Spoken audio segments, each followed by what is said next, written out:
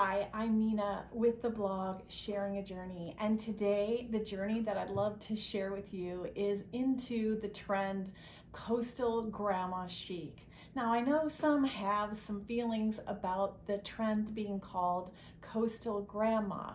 Well, I'm old enough to be someone's grandma, even though I'm not yet, but I feel like why not join in the trend? It's a beautiful trend. It's a lot of fun to put together these outfits and to kind of create the overall coastal grandma chic vibe. So today I'm taking you into my closet and also into my makeup drawer so that we can put together a fabulous look for a picnic. And we're making Ina Garten's blondies. Now, what could be better than that for a coastal picnic? And so join me as we put together a look, um, a little menu, and a beautiful picnic. I hope that you will enjoy the coastal chic vibes as much as I enjoyed putting this together for you.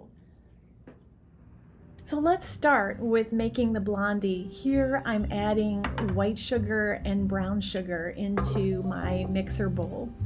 And I'm also going to be adding some butter. It's supposed to be butter at room temperature, but I um, had like kind of heated it in the microwave real quick and got it a little softer than what I was going for.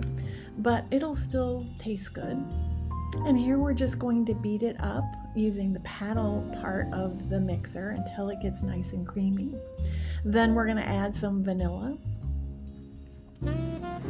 And we're just going to kind of have the beater going a little bit slower. And then we're going to add the eggs. There are two eggs. We're going to add them one at a time. And I just gently drop one in and then the other. Next up, we're going to go ahead and sift the dry ingredients together. I think this is an important step. It helps to incorporate the ingredients all together so that there isn't just a mouthful of salt somewhere or or it doesn't raise properly. And while the beater is going slowly, we're just going to gently add the flour mixture in and let it fully incorporate.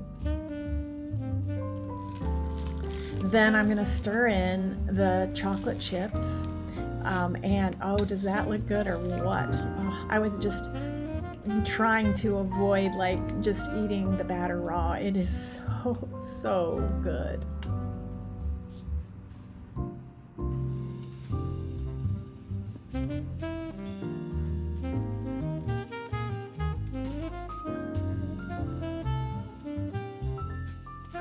With the baking out of the way, I thought we would turn to makeup and creating that coastal chic, really glowy makeup. So I'm starting with a sunscreen. This is an SPF 50 um, and it has a very, very glowy finish. You can find all the details to the products I'm using in the description box below. Next up is the Dior foundation. I use this foundation pretty much every day. It blends in beautifully and it kind of adapts well to whatever the primer that you choose to use underneath. Next up comes my Charlotte Tilbury uh, bronzer. You can tell that I've used a lot of this. It is a gorgeous bronzer really gives a beautiful natural finish and that's what we're going for today. Next up is the Peau de Cle Cream Blush. We did a whole video and blog post on cream blushes, um, and this one was a winner. And I'm just gonna blend it in for a super, super natural kind of look. And I just love how it just kind of makes that little bit of a glow. Next up, I, I went deep, deep, deep into my makeup kit for the Tartelette in Bloom palette. I've used this off and on for years. It's a great palette for kind of that natural look. And finally, like a dusting of a little bit of my favorite mascara. Next up, I'm reaching for the Kosas uh, lip balm. This is going to give that very natural kind of a look to my lips, just a little bit of color, not a lot, and I'll blend it out with my finger so that there's just a little color and definition. Finally, I like to just do a quick dust and make sure that everything is really glowy, add a little bit of eyebrow gel to my eyebrows, and I think we're done with this look. Next up, let's go into my closet. We grabbed out a pair of um, lovely linen trousers by Aritzia. I bought them last year, love the pleating detail, and I'm adding a belt with kind of a crocodile embossed detail to it. And this is to kind of create a little bit of a waistline and also some detail. When you're doing white on white on white, sometimes it's a good idea to just add a little extra punch. Next up, I'm using my very favorite um, J. Crew button up and I'm doing a technique that is a little bit on trend right now and it's where you wrap the, the shirt and just tuck it into your pants. And this is perfect for a very casual day at the beach like we're gonna have, a, a perfect for a picnic or something like that. And of course we're just gonna like push up the sleeves and pop the collar and there we go, there's our look.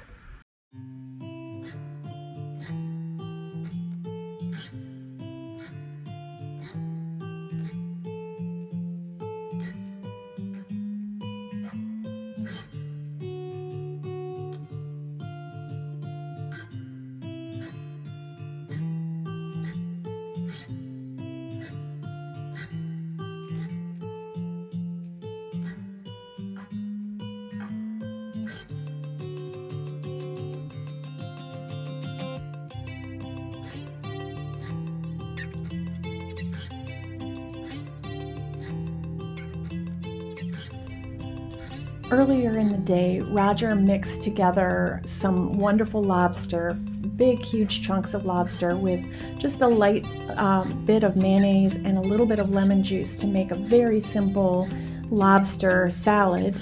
Um, and then we made a little bit of broccoli slaw, and of course, you have to have the potato chips to go with it. Doesn't that look amazing? And then, of course, we're Southern. We love the iced tea. And there is the blondie. Isn't that beautiful? Nothing ever felt as good or as easy as when we were young. Oh, oh, oh. oh. though I felt misunderstood, it was pleasure running away